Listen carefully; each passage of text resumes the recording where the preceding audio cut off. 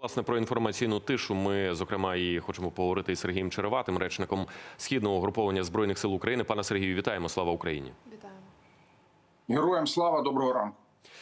Про перебіг бойових дій на сході ми трошки згодом поговоримо. Але що би ви насамперед зараз порадили б українцям, які чекають із нетерпінням новин про перебіг бойових дій? Чи можна знати, що відбувається, але при цьому не створювати ризик для військових планів?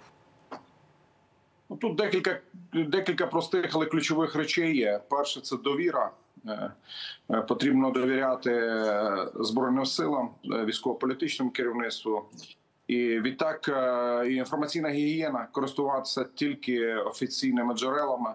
Це національний марафон, сайти наших всіх відомств сектору безпеки і оборони, Ради національної безпеки інші державні. е, Якщо це про локальний рівень, то обласні військові адміністрації.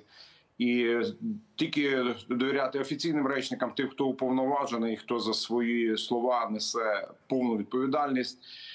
Ну і, і ключове останнє, напевно, що це єдність, саме єдність і- і не внесення розбрату в інформаційний простір, як деякі зараз недоблогери намагаються зробити.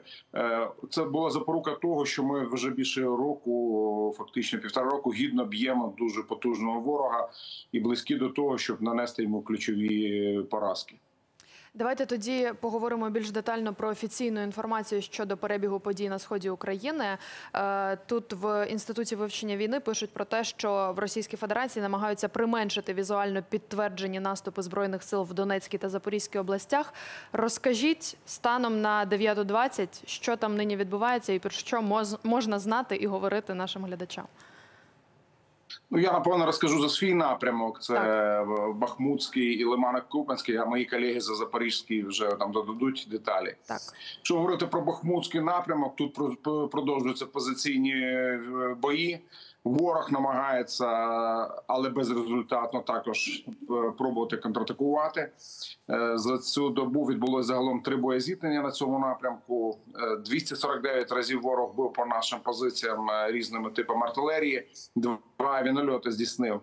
Е, Ми в свою чергу продовжували контратакувати там, де було можливості, і е, на флангах пройшли від 250 до 700 метрів, е, по- по- посунувши ворога. При цьому нанісши йому втрати 66 окупантів знищили, 83 зазнали поранень.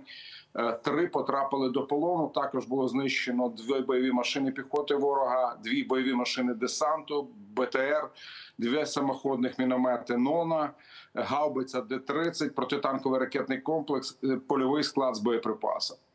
Пане Сергію, а як е, би ви оцінили силу цього імпульсу е, наших військ? Наскільки неможливо його зупинити?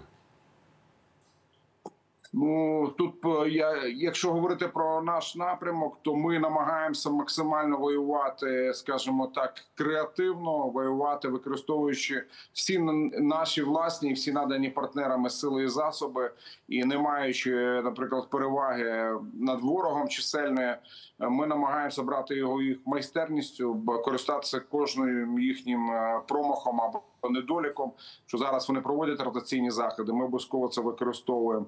Що вони там знають менше місцевість. Ми це використовуємо. Що ми розвідали якісь е, дані про ворога. Ми це теж обов'язково використовуємо. У нас на порядок потужніше працюють штаби. Ну на генерал е, Баргілєвич, начальник штабу нашого напрямку, один з найдосвідчених штабних, скажімо так, е, офіцерів, генералів з, бойовим штабним досвідом, і разом з командою, що вони створюють такі. Завжди продумують настільки операції, що ми з мінімальними силами засобами досягаємо переваги, чого було показано, наприклад, в Харківській Лиманській операції, і зараз намагаємося е, так само діяти. Кожен промах використовувати і просовуватись, хай по декілька сот метрів, але просовувати, звільняючи нашу землю. Сподіваємося, промахів буде набагато більше, як і втрат набагато менше з нашого боку. Пане Сергію, дякуємо вам. Е, Сергій Череватий, речник східного угруповання збройних сил України, був в марафоні Єдині новини. Рухаємося.